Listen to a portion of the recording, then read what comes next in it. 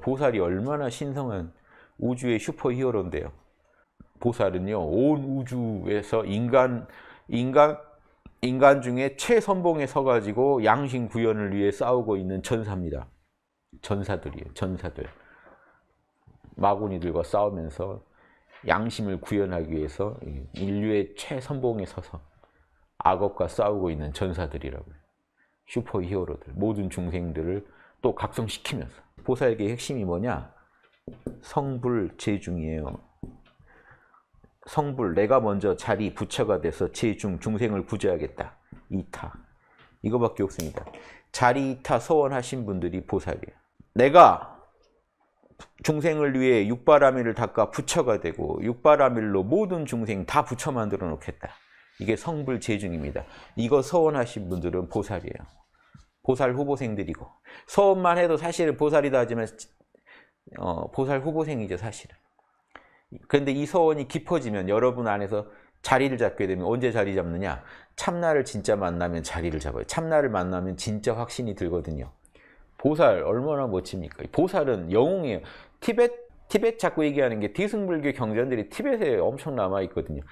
티벳 불교에서 보살 그러면요 히어로입니다. 일단 영웅, 전사 이미지예요. 영웅이나 전사.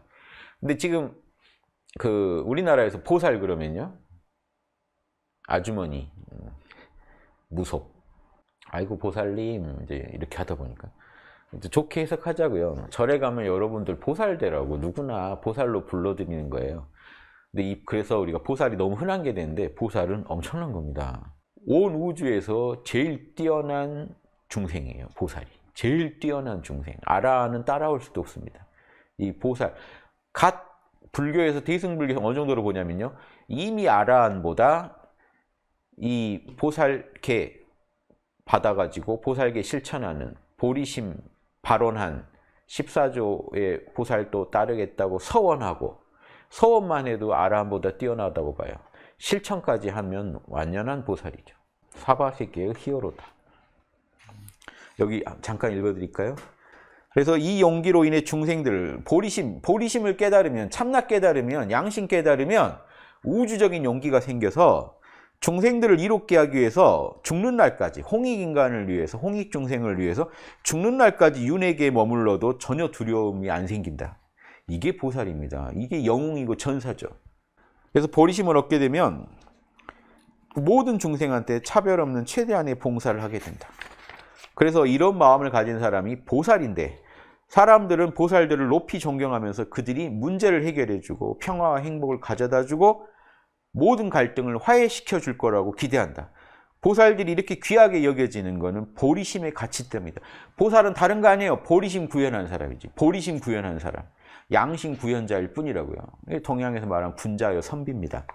이런 보리심을 가진 보살은 어떤 유형의 고통, 장애와 바람직하지 않은 상황들, 역경들이 발생하더라도 흔들리지 않는다.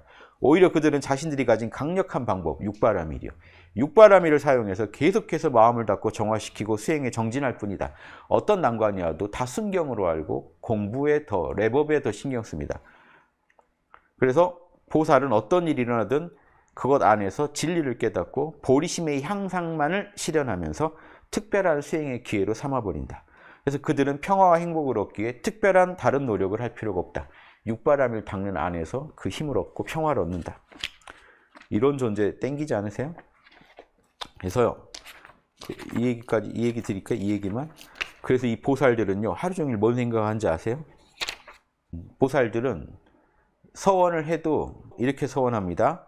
이전 모든 부처님들께서 보리심을 일으켰듯이 이분들이 계속해서 그리고 보살행을 하셨듯이 원바라 원보리심 행보리심 했듯이 모든 중생들을 위해 저도 보리심을 일으키고 마찬가지로 보살행을 계속 하오리다. 14조를 서원하고 14조를 실천하겠습니다. 그리고 이 양반들은 이렇게 이렇게 살아갑니다. 이 양반들은 잠자는 동안이나 무관심한 동안에도 즉 멍 때린 동안에도 허공과 같은 공덕의 힘이 내 안에서 보리심이 영원히 일어나서 끌고 간다. 이건 이제 사실 일지보살 이상인데요.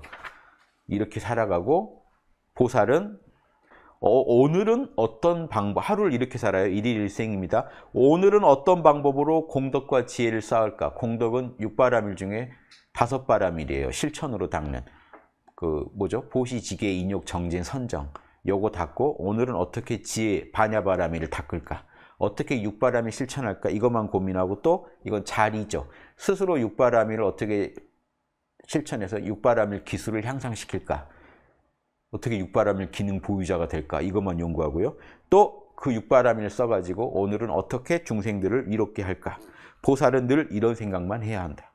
저는 보살입니다. 제 본색은. 우주에서 이렇게 지구에 보살도 펴라고 온 보살이에요. 제가 평생 뭘 해야, 해야겠어요? 하루 종일 제가 뭔 생각하겠어요? 어떻게 하면 지구에서 더 보살도가 퍼질까요? 어떻게 더 많은 중생이 보살도를 걷게 될까? 정토로들을 걷게 될까? 어떻게 하면 나는 오늘 하루 더 14조에 충실하게 14조를 구현할까? 내 삶에서. 내 육군을 통해 육바라미를 어떻게 또 구현해 볼까? 이거밖에 연구 안 해요. 자, 보살은 제가 이렇게 정리해 볼게요. 자기 육군 태계, 육군을 통해서 보고 듣고 지금 여러분이 여러분의 우주라는 게 별거 아니에요. 보고 듣고 맛보고 냄새 맡는 그거예요.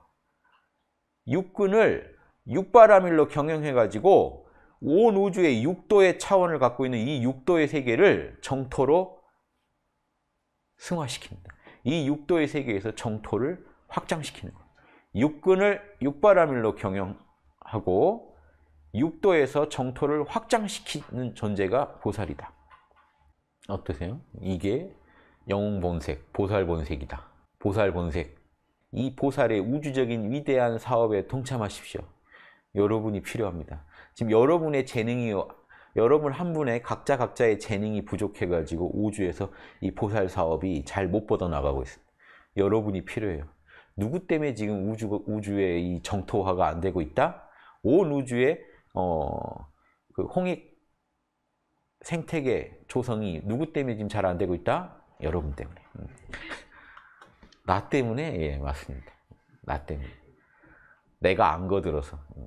지금 여기까지 왔는데 못 본 척하고 다시 가실래요? 음, 모르는 척하고 가실래요? 음.